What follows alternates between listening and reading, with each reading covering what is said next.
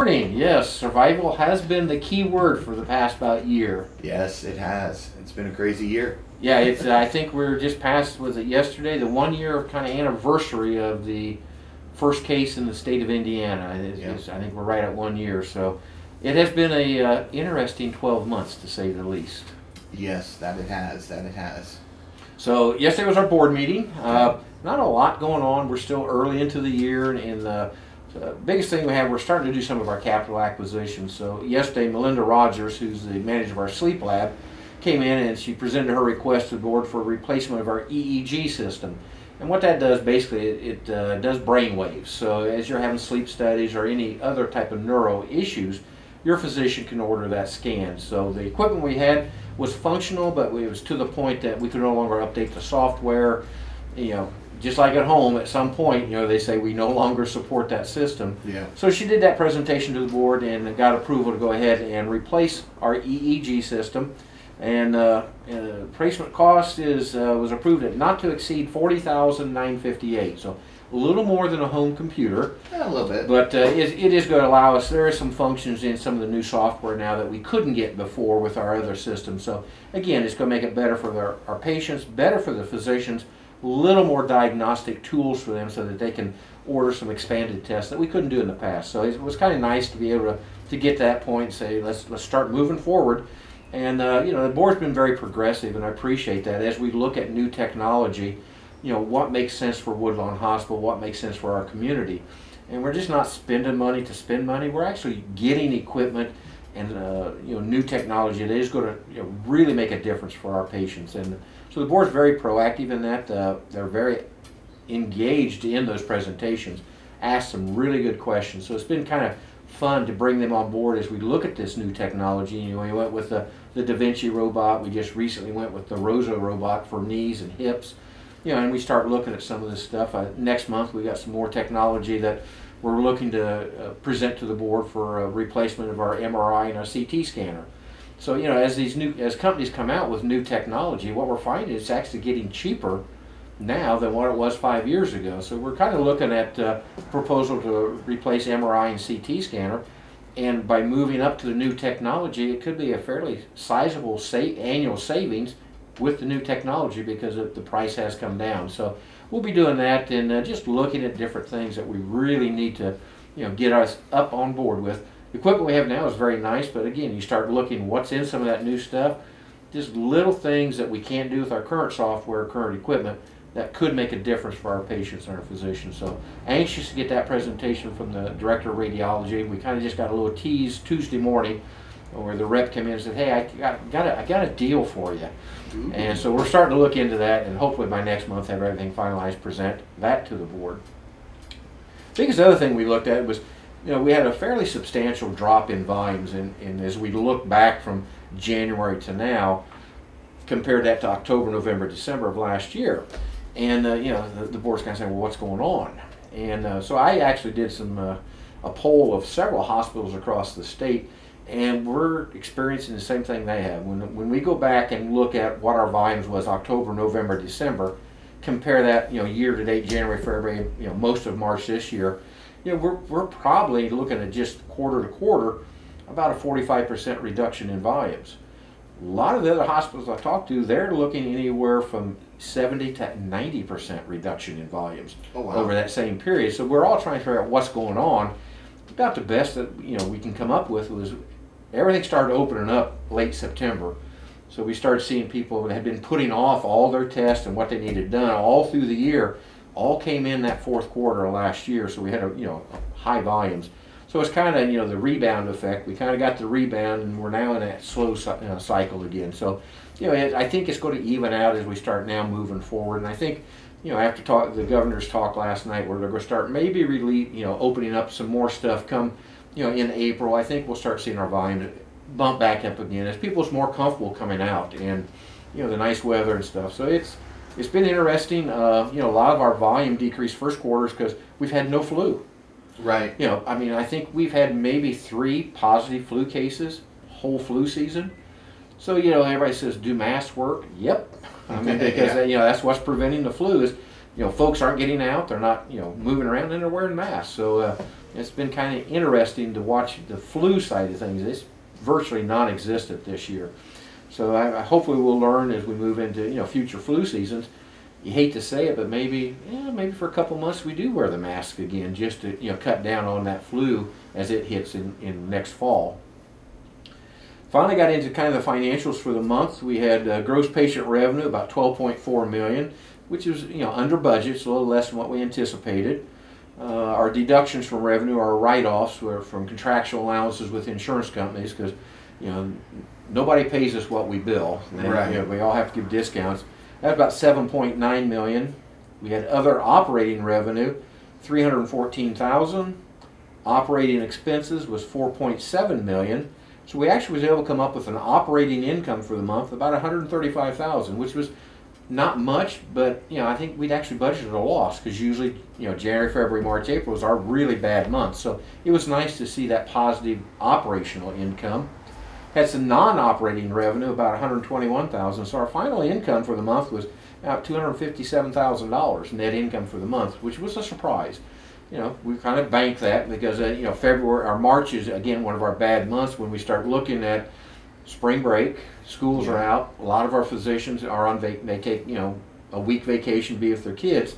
So I think our volumes are even, going to be even worse in March as we look you know for ne- uh, next month's report. So I'm not uh, looking forward to looking at the financials for the month of March, but they are what they are, and we just have to move forward and go from there. Probably the other biggest thing that we did is the board has been looking at their bylaws, which hasn't really been reviewed for a couple years. So we've been you know, kicking that around for quite, uh, you know, for a couple months. I think we finally got it kind of narrowed down. There's just some minor changes that uh, we give to the attorneys to draft into the, the bylaws. So they'll come back to the board next month for uh, first presentation, and then they have to wait a full month, and then they can approve them that following month. So we're hoping to have new bylaws probably by the May meeting, get those kind of put to bed, and they'll be good for another couple years or so. And you know, the, the biggest thing there is just make sure that as we see state statute changes, the board bylaws follow that and make sure we're not in violation of some state statutes because like everything else, they, they change those quite frequently, so you gotta keep on top of them. And that was pretty well the board meeting. Uh, I think we were done a little, a little after two o'clock yesterday. Now, uh, my biggest question actually comes from uh, Monday when we did Doc Talk. Yes. You guys are in the process of becoming a vaccine site. Yes, we are. We've got the doses in house. Uh, right now, there is a paperwork uh, nightmare going on with the state of Indiana that they're having a hard time getting us registered in what's called the Zotec's system. And that is where, you know, if you go online to make book an appointment, it's through this Zotec. So we've been working with them uh, pretty well every day, a phone call and trying to figure out, you know, well that number doesn't match this number, and it's it's on their end. So we've done everything we can do. So uh, I haven't heard today. I know we had a phone call. I think it was going to be at 11 o'clock or so with the state of uh, state board of health to give us okay. Here's where you're at. Here's where we're going. So we're we're ready. Uh, we've got the vaccines ready to give. We just can't get on the website to be listed as a registered site yet. So once that happens, uh, we'll start doing the vaccines. We've got initial 200 doses, and then we'll be receiving 120 doses per week as we move forward from there. So anxious to get that going. Yeah, and we were talking off air. That's the uh, Johnson and Johnson. Johnson and. Johnson, yes, uh, that's kind of the main one that's coming out now from the state of Indiana. Uh, you know, the the Pfizer and Moderna was the very early ones because they got, approval first. Right. Now J and J is coming on and, and coming on strong with several million doses that they're giving out. So that is it's a one-shot uh, vaccine this time, and uh, so anxious to get start getting shots in arms to get folks vaccinated. Uh, you know we're we're up like say some of these we're at a one-year anniversary for some some of the first COVID cases. So we're trying to see you know those folks have been vaccinated early on. Some of the, the test subjects way back in March and April uh, that got that first vaccine as you know the guinea pigs. We want to look at those, you know, that we haven't seen results yet, but is that antibody still active? And Right. that's going to tell us whether or not this is going to be a long-term vaccine, or are you going to have to do a booster, much like you do a flu shot every year? You know, I'm sitting here, you know, the, the, the Google expert. You know, if you go down Google, you can be an expert on anything.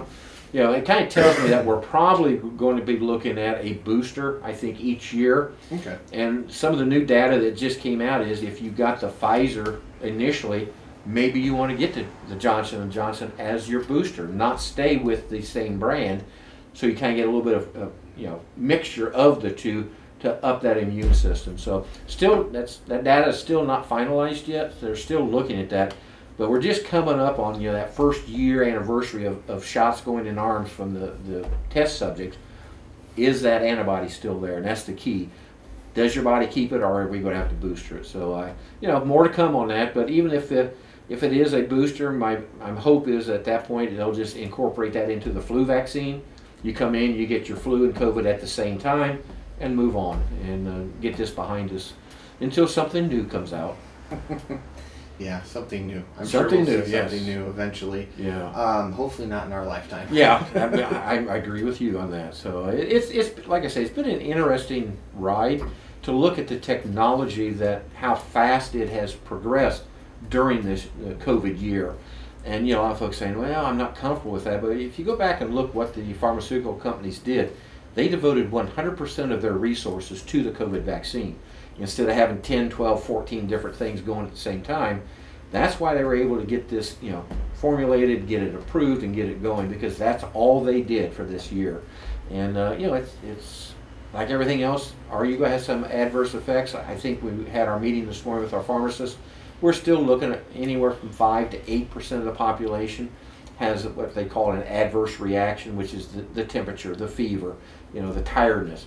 But that means 95% of those who get it have no reaction whatsoever.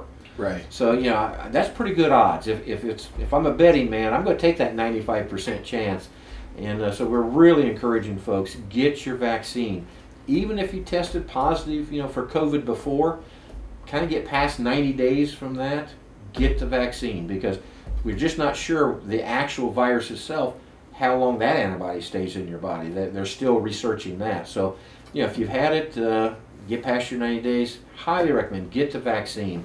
It, it's virtually painless. 5% of the people have a, a, reaction to it, but that means 95% doesn't. So, you know, it's uh, like, you know, some folks say, well, I can get it and just call in and say, I don't feel good get a day off, stay on the couch, but get your vaccine. It's, yeah. it's just the best thing to do right now. Yeah, absolutely. And you kind of answered the other question I had, which is if you've already had COVID, do you need to get the shot? So. Yeah, they're, they're still saying yes because the, the again the unknown is if I've tested positive for the actual disease, how long does that antibody stay active in my body? And they just don't have an answer for that yet. They're right now they're guessing. It's good, you know. They're seeing some folks nine to ten months post COVID with a still active antibody. But we still don't know that long term. So the recommendation from uh, most all medical professionals is give yourself a 90 day window post COVID, get your vaccine just to extend that, that period out so that because we've we've had some folks who've gotten it twice. Uh, you know they've, they've had a mild dose early on and then they six eight months later they get it again. So it can happen. So let's protect as most most people we can get that vaccine. That, that is going to be the key factor to get everything back to somewhat to normal, uh, whatever normal is now. Mm-hmm. I don't think we're ever going to back to where we were in 2019. No. I, I think those days, uh, unfortunately, are behind us, and, and it's just changed our whole outlook on how do we interact with other folks. And but I, I we got to get back to somewhat to normal, and I think the vaccine is going to be that key factor. Get the shots in the arms, get back to normal, and, and try to just you know enjoy ourselves again. Yeah. And uh, the final question I have, I know we talked a little bit about it last month. You were starting to see some guidance on your PPP. Yes, uh, you know the the PRF funds, the provider relief funds. We're still waiting final uh, approval. We've got a consultant who's got some lobbyists in D.C. that starting to give us some information that what we have done, where we've we've earmarked those funds, set them aside, we can start applying some of those funds now. Uh, we still think that we're probably there. There was a, a loan from uh, Medicare. Uh, they sent us about four four point two million dollars early on to say, this is a loan. We're prepaying future bills. That is supposed to start being a take back starting in April. Have not seen any final word that that's not going to happen. So, you know, again, we've restricted those funds. So what will happen? We'll bill Medicare for you know the Medicare recipients that have come in and then instead of us getting money, they'll say, we should have paid you $100,000, take it out of the money we've already given you. Right. So we've already got it.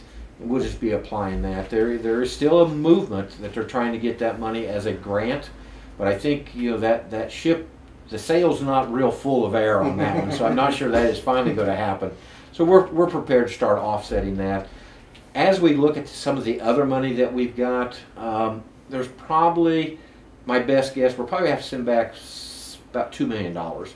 Again, we've put it in a savings account, so you know we've got Right. it. We haven't spent it, but when we started looking at some of the restrictions on that, we just didn't meet some of those you know restrictions that they have. So we're going to send that money back. But some of the other, I think we're going to be able to, to apply against some of our expenses that were absolutely COVID related. That we can say, had not been for COVID, we wouldn't have spent this and this and this. So I think we can be able to apply a lot of those funds to that, but some of it probably is going to have to go back. So we're still waiting the final uh, stuff come from the government. You know that that goose is still laying golden eggs that seems to come out every couple of weeks. Uh, but we're just hanging on to it, not spending it, and waiting till we know what we can do with it. Then apply it to maybe some past bills that we've already paid, help offset some of that expense that we've occurred, uh, you know, in 2020, early 2021. All right. Well, Mr. Alley, thank you very much for stopping in. My Uh, pleasure. Always enjoy talking to you each month, and we'll do it again next month. Yes, we will. Thank All right. you. Thank you. of Stetron